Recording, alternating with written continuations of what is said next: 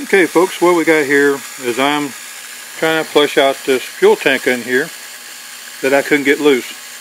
So I could flush, uh, clean it the, the old fashioned way. So what I had to do is purchase this little pump right down here.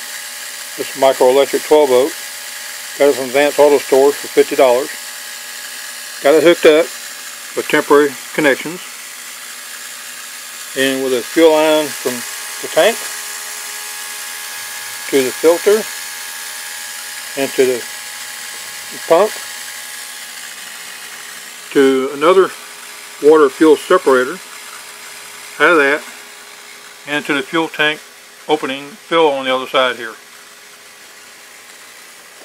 So I'm going to let that run for a while and so far as soon as it started pumping it's been clean which really surprised me because I know there's some sludge down there so it may take some time for it to, to break loose and come forward or this first filter here could be catching a lot of it.